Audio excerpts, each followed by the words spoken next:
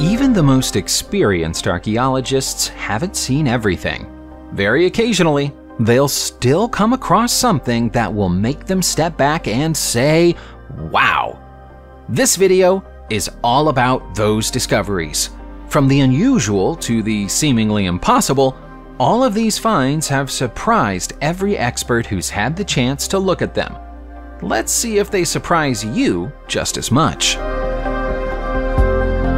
Our first find is an extremely rare ancient Roman arca ferrata, or to call it by a more modern name, an ancient Roman safe.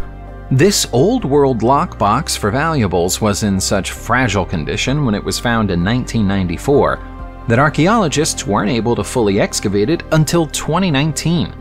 It's almost a miracle that it was still around to be found at all. The Arca Ferrata was inside a Roman villa called Casa del Mitreo, when the building was destroyed by fire some 1600 years ago. The ash and debris caused by the fire formed a protective layer on top of the safe, protecting it from harm and decay for centuries. The primary building material of the safe is wood. You might think that's fairly useless for keeping thieves out, but think again. The safe is booby trapped. Try to open it the wrong way, and it will pierce your flesh with thick iron spikes.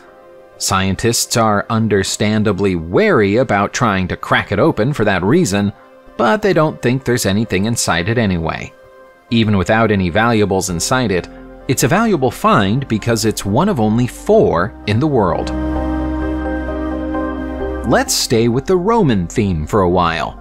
An archaeological survey was recently carried out ahead of proposed sewage works in Frosinone, Italy, roughly 50 miles south of Rome. That survey led to the discovery of an ancient Roman bath complex. The once beautiful rectangular pool looks a little battered and weathered, but the mosaic floors and marble cladding are still stunning. Finding the baths has come as a total surprise even to archaeologists who were already familiar with the area. Ancient Roman records indicate that Frosinone was known for its rivers and mineral springs, but there's never been any mention of baths. In fact, this is the first sign that any part of the town existed to the left of the river in ancient times. The black and white mosaics, most of which depict Roman gods and mythical beasts, are thought to have been created during the 2nd century. While it's hard to say why the baths and associated buildings were eventually abandoned, archaeologists think that the root cause may have been a flood caused by a change in the course of the river. It's considered cool to have a tattoo in much of the Western world at the moment, but there's nothing new about the art of applying ink to human skins. We even know of a woman who had elaborate arm and shoulder tattoos 2,500 years ago. She's a mummy known as the Altai Princess, named for where she was found buried in Siberia the mummy was discovered in 1993, but went on display to the public for the first time in April 2021. What's remarkable about her tattoos is that they look almost modern.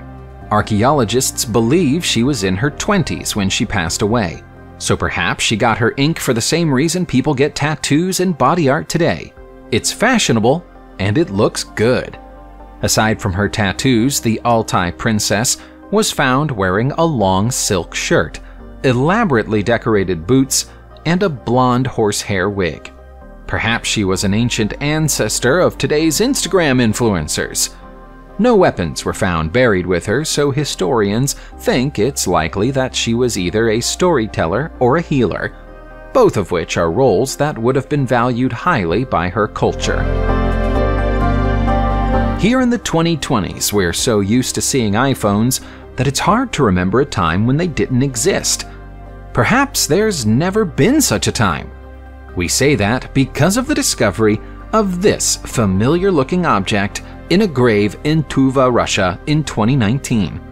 Tuva is a site that's well known to Russian archaeologists, so much so that it's nicknamed the Russian Atlantis. When archaeologists broke into the grave, they were shocked to see this iPhone like object inside it, perched on the pelvis bone of the grave's occupant. Common sense tells us that it's not really an iPhone. but experts are at something of a loss to explain what it might be. The most common guess is that it's a decorative belt buckle, with the rest of the belt having rotted away over time. The artifact is roughly 2,000 years old, but contains an older mystery.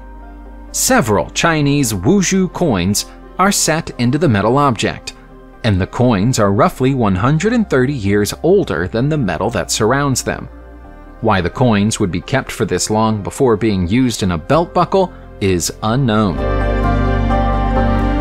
During the torrid days of World War I, 20 Austrian soldiers took refuge in a cave close to the top of Mount Scorluzzo in Italy. They stayed there for a while, taking steps to camouflage their hiding place so they could safely monitor Stelvio Pass. In May 2021, more than a century after the Austrians left, melting ice revealed some of the things they left behind. A few food rations are still there, along with the dishes the food was eaten from, and a few makeshift jackets crafted from animal skins. The fact that soldiers were forced to make clothing from animal skins in the 20th century shows how desperate and extreme the conditions within the cave must have been.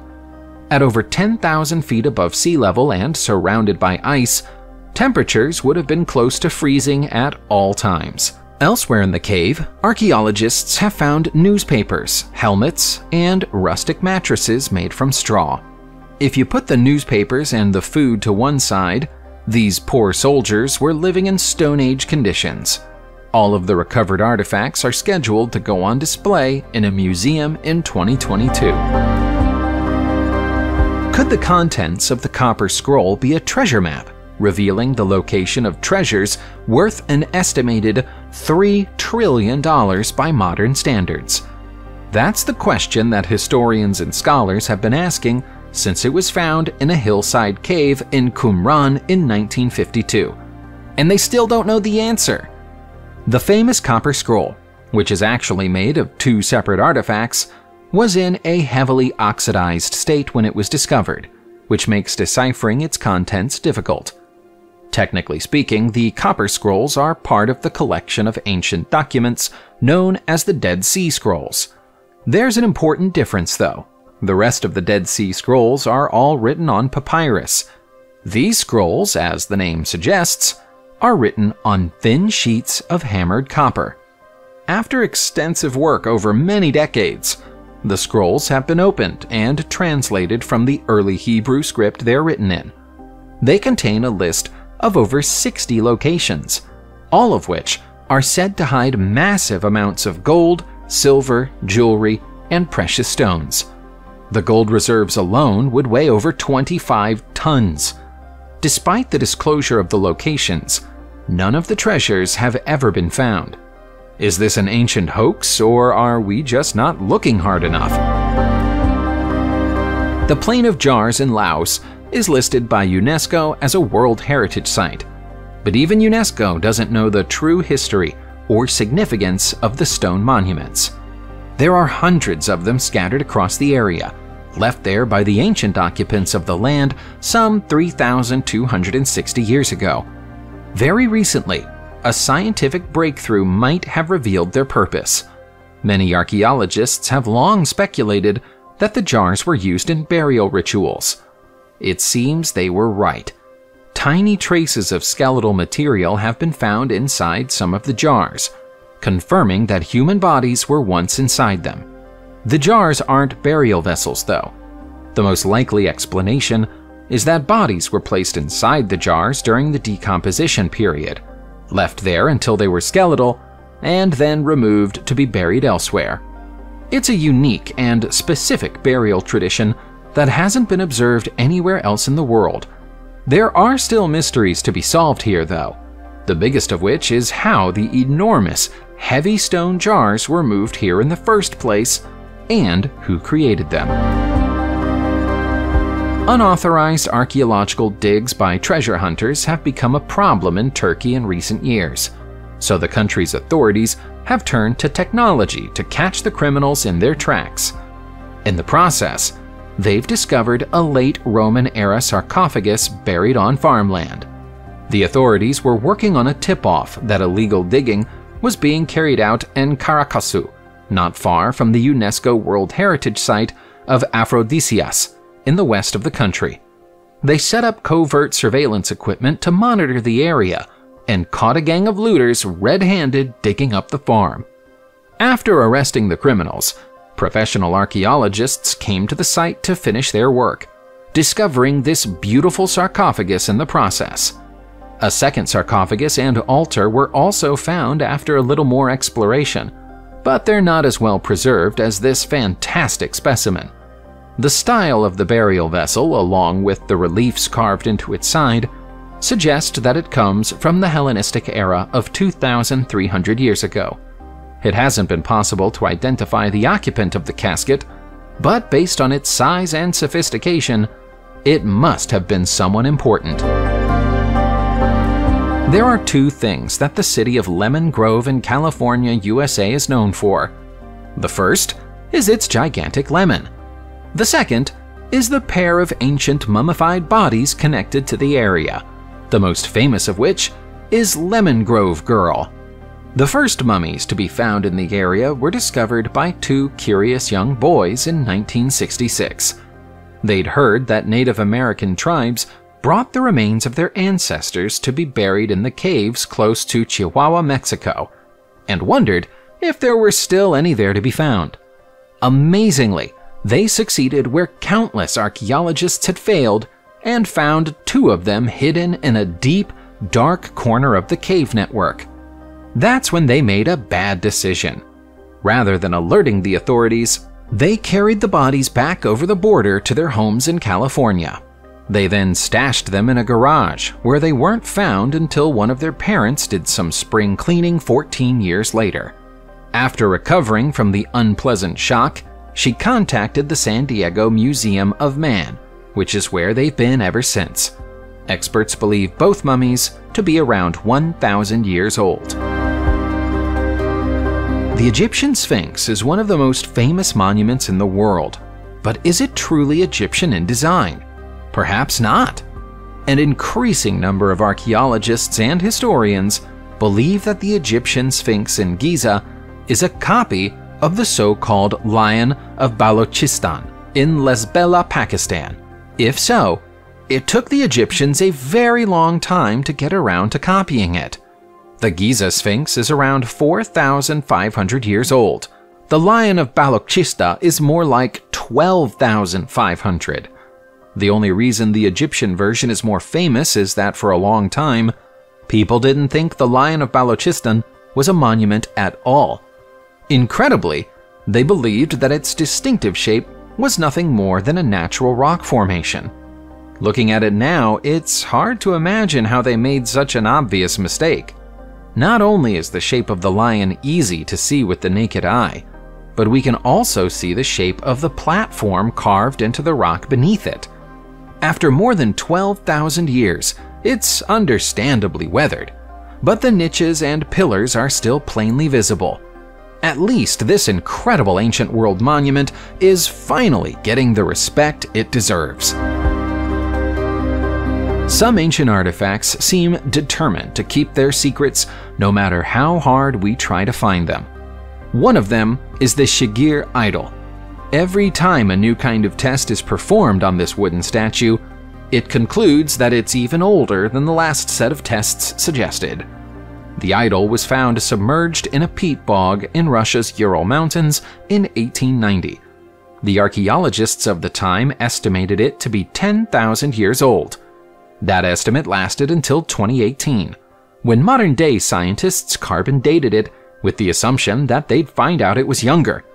To their astonishment, their tests gave the artifact an age of 11,800. The experts were so stunned that they sent the idol to another set of scientists for further tests.